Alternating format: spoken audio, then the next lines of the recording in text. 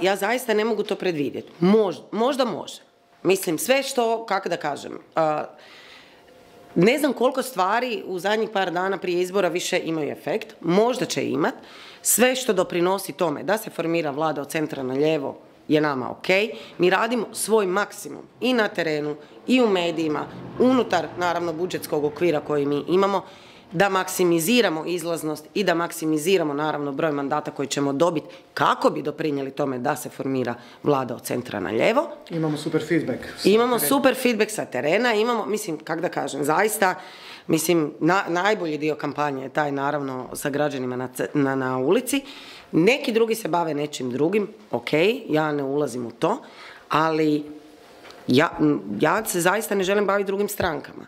Znači, kažem šta mi radimo. Mi komuniciramo s građanima oko prioriteta, programa, mjera i šta će se odraditi u prvih godinu dana, u prve dvije godine, u prve tri, u prve četiri šta su dugoročni projekti koje namjeravamo pokrenuti, do kada oni misle biti. Dakle, pokušavamo biti što konkretniji mogući. I vjerujte da građane to zanima više od Butkovićevog statusa na Facebooku jutros ili jučer ujutro i tako dalje. Dobro, da ste vi predsjednica države i želite ići u...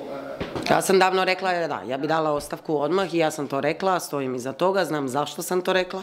Rekla sam to zato jer ne bih željela da se kampanja pretvori u uh, tematiziranje jednog jedinog pitanja jel uh, kampanja u skladu sa Ustavom ili kampanja nije u skladu sa Ustavom.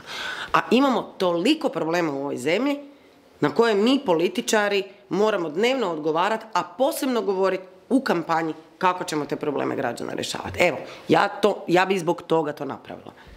Kako komentirate ove ankete HR rating, HDZ Mhm. i dalje najuvjerljiviji, skoro sličan rezultat kao i prije četiri godine, nešto manje, ali posebno s obzirom na izmjenu izbornih jedinica, evo sedma izborna jedinica, gdje ste vi imali mandat, a sad osim HDZ SDP-a još jedino šanse ima DP. Nije, nije, imamo mandat u sedmoj. Sedmo imate? Da, O- da, Vrlo da, čvrst. da, i vrlo čvrst, da. Ali okej, ajde ovako. Ali pokazalo se da je DP prilično... Da, mislim e, ovako. Dakle, ja ću samo reći sljedeće. Za svake izbore su za nas ankete faljivale gotovo najviše. Reći ću, 2020. su nam predviđale jedan do dva mandata. Jedan. Jedan, pardon, jedan. U koaliciji smo na kraju imali sedam. I to, ali to neposredno prije izbora su nam davali jedan.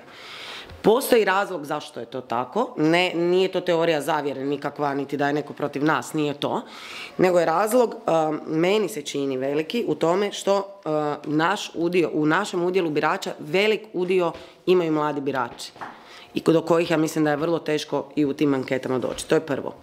Drugo, um, kada se ankete prikazuju, i to nije korektno, treba jasno naznačiti da se radi o postocima koji pokazuju sigurne i vjerojatne birače u odnosu i na one koji su odgovorili, plus one koji su neodlučni. Neodlučnih nema na izborima. I zato su ankete kao i izborni rezultati koji pokazuju samo sigurne birače u odnosu na one koji su izašli, uvijek u postocima više od onoga što su ankete davale. To je zbog strukture anketa i broj, brojki koje se prikazuju. Jer ne prikazujete samo jel, u anketama sigurne, nego sigurne i vjerojatne. E sad, da kažem još jednu bitnu stvar. Pozivam građane da se rukovode time kada glasaju, da glasaju zaista za one u čiji program vjeruju. Prvo, ankete pokazuju, kada bi sada skinuli ove vjerojatne, da mi svugdje imamo mandat, osim možda u jednoj izbornoj jedinici da je ruban. Drugo, dakle to glas za nas jest siguran glas. Drugo, isto tako želim reći građanima, ankete su u nekoliko zadnjih izbornih ciklusa toliko faljivale da je upitno da je upitno uopće koliko je korektno da se one prikazuju nekoliko dana neposredno prije izbora, ako znamo da je to...